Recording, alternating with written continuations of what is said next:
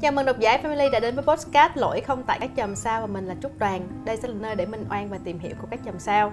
Khách mời chúng ta ngày hôm nay chính là bạn Trần Ngô Lan Vi. Xin chào Lan Vi. Chào Trúc, chào độc giả của A Family. Mình là Lan Vi và mình thích tìm hiểu các chòm sao.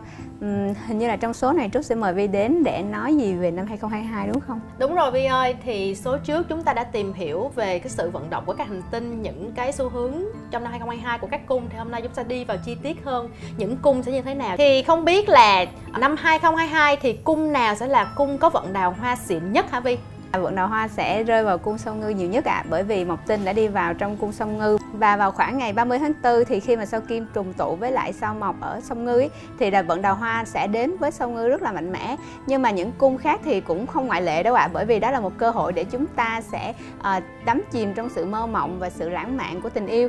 Thế cho nên là các bạn cũng sẽ được hưởng cái một chút trong cái tầm ngày này đó vậy thì mình có thể nói sâu hơn là cung song ngư sẽ gặp một cái vận đỏ về tình cảm trong khoảng thời gian nào hoặc là họ nên đi đến những nơi nào để mà có thể mà gặp được tình duyên của đời mình không uhm, nhìn chung cả năm thì các bạn song ngư sẽ dừng dường như là muốn gì được nấy ấy. và hầu hết là những cái giấc mơ của các bạn nếu như mà cẩn thận đi từng chút một không quá nóng nảy thì sẽ đã đạt được rồi cho nên là chuyện tình duyên của các bạn trong năm nay thì khá là suôn sẻ.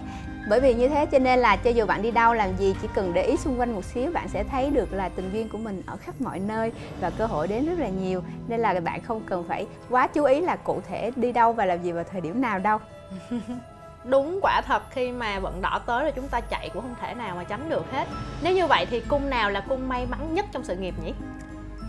Nếu nói về sự nghiệp thì hẳn là cung market sẽ có một năm có nhiều cơ hội để khởi động lại những cái dự án mà mình đã bỏ lỡ hoặc là mình đã phải bị dừng lại trong những năm qua. Ngoài ra thì cung nhân mã cũng là một cung mà có thể sẽ quay về lại cái định hướng ban đầu của mình. Bởi vì hai năm vừa rồi có thể khiến cho các bạn bị vất vả và bị ờ, lạc hướng khá nhiều. Nhưng mà trong năm nay thì các bạn sẽ có cơ hội để đi về lại con đường của mình và cảm thấy không có gặp nhiều trở ngại quá nữa.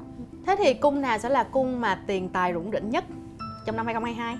Ừ, nhìn chung thì năm nay có thể là các bạn sẽ gặp khó khăn một chút về việc là tiền để dành của mình nó cứ vơi vơi dần cho những cái uh, nhu cầu những cái ham muốn như thế nào đó cụ thể nhưng mà những cái bạn liên quan tới uh, bò cạp và kim ngưu á nếu như mà đã có những cái kế hoạch đầu tư từ trước đó nha thì năm nay sẽ có thể gặt hái được những cái cái khoản đầu tư nhất định của bản thân còn nếu như mà những năm trước đó các bạn uh, đầu tư chưa đúng chỗ hoặc là chưa có kế hoạch đầu tư gì thì năm nay có thể các bạn sẽ không có nhiều cơ hội nhiều trong chuyện tiền uh, trong chuyện tài chính lắm nếu vậy thì cung hoàng đạo nào sẽ là cung có nhiều biến động nhất trong năm 2022 nhỉ?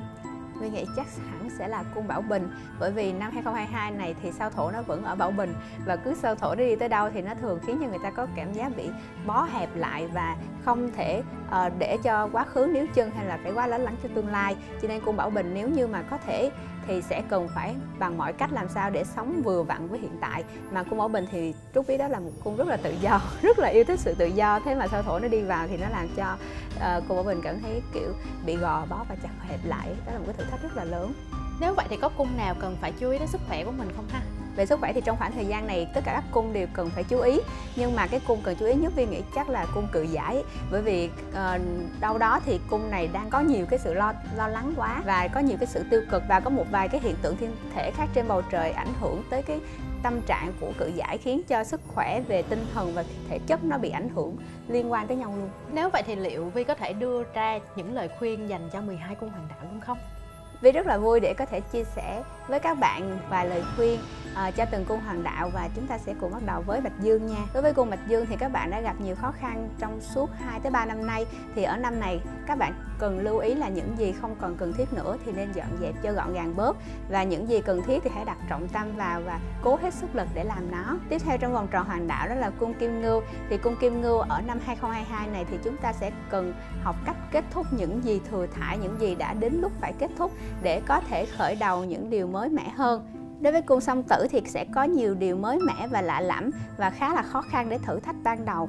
Đối với những bạn mà mong muốn có những khám phá mới thì cái bí quyết dành cho các bạn đó là hãy làm việc nhóm và hãy chú ý tới những người sẵn sàng hỗ trợ bạn. Đối với các bạn cự giải thì đây là một năm thử thách các bạn rất nhiều để các bạn có thể bước ra khỏi vòng tròn an toàn của mình và từ đó sẽ học cách mạnh mẽ can đảm đối diện với những cái sự uh, thay đổi từ bên ngoài hơn. Đối với các bạn sư tử thì năm 2022 không quá nhiều biến động các bạn đang có những cái dự án gì đang trên đà như thế nào thì hãy cứ tiếp tục tiến triển và nếu có thể hãy tăng tốc lên một chút nữa. Đối với các bạn xử nữ thì công việc của các bạn là rất quan trọng. Nhưng mà nếu như các bạn có thể học cách đưa ra yêu cầu một cách mềm mỏng và khéo léo hơn, thì bạn sẽ thấy công việc suôn sẻ và trôi chảy hơn rất là nhiều đó ạ. À. đối với các bạn thiên bình, thì việc nhìn mặt người khác sống sẽ khiến cho các bạn lâu dần mang đến cảm giác mệt mỏi và căng thẳng rất là nhiều. Cho nên là nếu như các bạn có thể đưa ra được những quyết định phù hợp với bản thân ờ, và thực sự là mang đến cho các bạn sự hạnh phúc, thì điều đó sẽ khiến cho các bạn cảm thấy ổn thỏa hơn. Đối với bò cạp thì trong năm 2022 này các bạn sẽ rất là khó để mà thay đổi những gì đã đầu tư tâm huyết vào và đã đưa ra những cái quyết định từ trước đó. Thế cho nên là à, bây giờ các bạn chỉ một là có thể chấp nhận nó hai là củng cố thêm những cái xu hướng đó thôi. Nên là hãy học cách chấp nhận những gì nó xảy ra và cố gắng theo đuổi tới cùng những gì mà mình đã quyết định từ trước đó. Với các bạn nhân mã thì năm 2022 này các bạn hãy nhớ quay về lại với mục tiêu của mình sau những năm bị sao nhãn trước đó. Và các bạn sẽ nhận ra là sẽ uh, những gì cản trở các bạn trong năm nay nó sẽ tự động biến đâu mất tiêu hoặc là dễ dàng để vượt qua hơn. Market sẽ bắt đầu có những khởi đầu mới nhẹ nhàng hơn, mang đến sự tự tin hơn và nhất là với những bạn nào đã quen sống độc lập và một mình ấy thì sẽ có rất là nhiều lợi thế. Cho nên là các bạn hãy ờ, đặt ra mục tiêu từ từ chậm rãi và đạt được, đừng quá áp lực cho bản thân và cả những người xung quanh nữa nha và chúng ta còn hai cung hoàng đạo cuối cùng nữa đó là bảo bình và song ngư.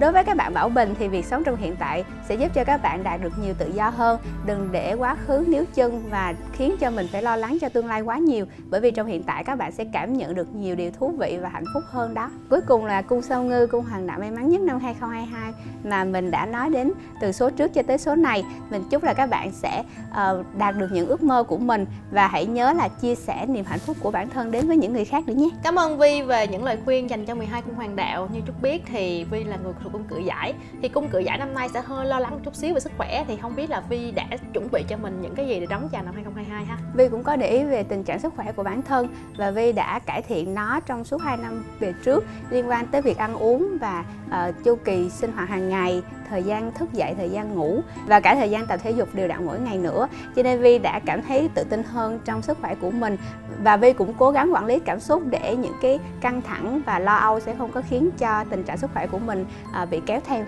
Các bạn có thể thấy là vi chúng ta đã có một cái sự chuẩn bị cho mình rất là lâu, từ tận 2 năm trước để mà có một cái kết quả tốt hơn như bây giờ.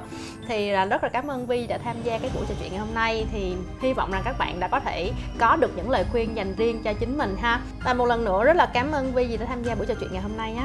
Cảm ơn Trúc và cảm ơn độc giả của A Family. Chúc Trúc và các bạn sẽ có một năm 2022 thật là nở hoa. Nếu bạn đang có bất kỳ thắc mắc gì về những vấn đề trong cuộc sống các bạn có thể inbox cho fanpage A Family. Biết đâu chúng tôi có thể đưa cho bạn những thông điệp. Từ đó các bạn tìm ra câu trả lời chính mình. Xin cảm ơn và hẹn gặp lại